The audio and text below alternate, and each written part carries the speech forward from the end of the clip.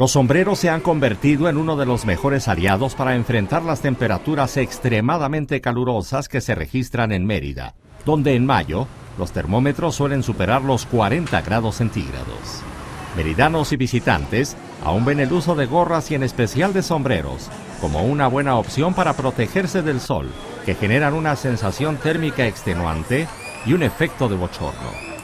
Entre los sombreros más demandados se encuentran los hechos con palma de jipijapa, una planta muy flexible que dura muchos años y por esto cada vez son más socorridos como un artículo para protegerse de los inclementes rayos del sol. Con información e imágenes de Tomás Martín, corresponsal en Yucatán, Notimex.